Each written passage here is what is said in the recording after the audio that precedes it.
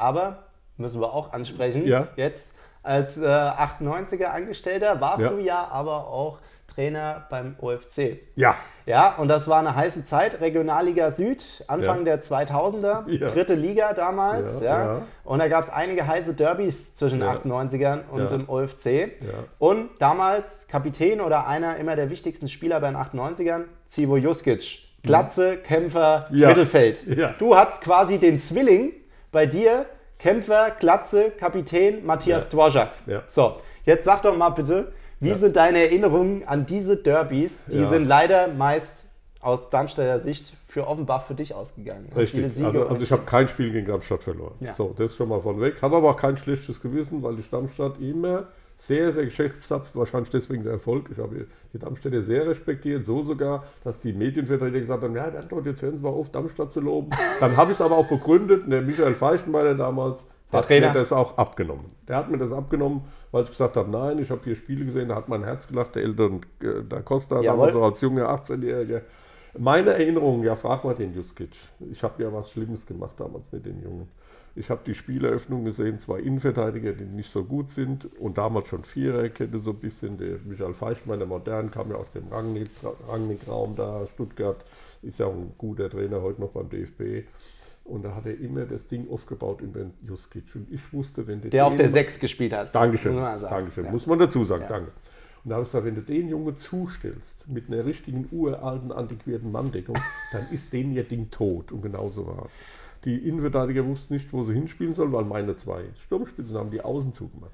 Ganz untypisch, sodass die zwei Manndecker, Hohmann und der andere, Ja. mehr, die waren frei, die wussten nichts mit dem Ball. Dann haben sie das gemacht, was ich wollte, sind schön in unsere Hälfte reingerannt mit dem Ball und dann konnten wir herrlich kontern. Das haben wir zweimal hier perfekt gemacht. Später hat sie es ein bisschen relativiert mit Mose. Da, ach, und einmal ist der Juskis, hat er mir dann später erzählt, ich habe ihn Mallorca mal genommen, sagte er, er wäre zum Feichmann, er hat gesagt, bitte, bitte stell mich auf Libro. Der, der, stellt, wieder, der stellt wieder einen Manndecker gegen mich. Stell mich auf Libro. Nur Libro, das war genau das, was ich wollte. Dahinter hat er nicht wehgetan. Ja, Da hat er den ersten Ball gehabt und also aus damaliger Sicht muss ich sagen, verflixt noch eins, das hast du gut gemacht. Ja. Ja. Also kannst du auch ein bisschen was zur Atmosphäre sagen? Also jetzt ähm, äh, hatten wir ja äh, in der Bundesliga Spiele gegen die Eintracht, aber der OFC immer ein großer Rivale gewesen und ich erinnere mich, diese Spiele waren auch atmosphärisch immer total heiß. Ja, also eins muss man ja dem OFC zugutehalten. Dass da ein paar Leute damals ein bisschen gepennt haben, die Lizenz nicht bekommen haben, äh, das, das ist ja unser Erfolg jetzt in Darmstadt. Richtig, Ne? ja. So fängt es ja mal an. Ne? Also müssen wir dem OFC ja Abbitte leisten. Ansonsten, äh, was ich schon immer gemacht habe, ich habe größten Respekt vor der Emotionalität der Fans gehabt. Ich kam ja auch nach Offenbach rüber, dann haben die mir im Vorstand gesagt, ja, Herr Wentroth, wir wollen Sie ja zum Cheftrainer machen, aber ein Mango haben Sie, das wissen Sie ja. Sie sind ja eigentlich ein Eintrachtmann und so.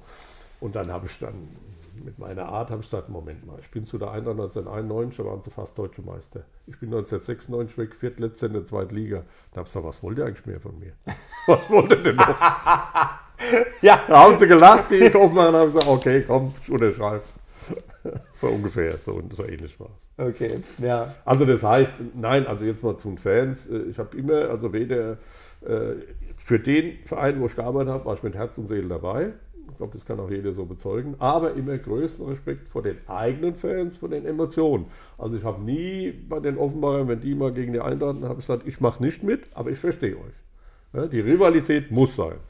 Das ist, ist auch schön. Finde ich ja. auch schön. Gehört zum Fußball dazu. Das gehört zum Atmosphäre Fußball dazu. mögen wir doch alle. Atmosphäre, wenn, wenn die Lilien auf die schieben und die auf die, ist vollkommen okay.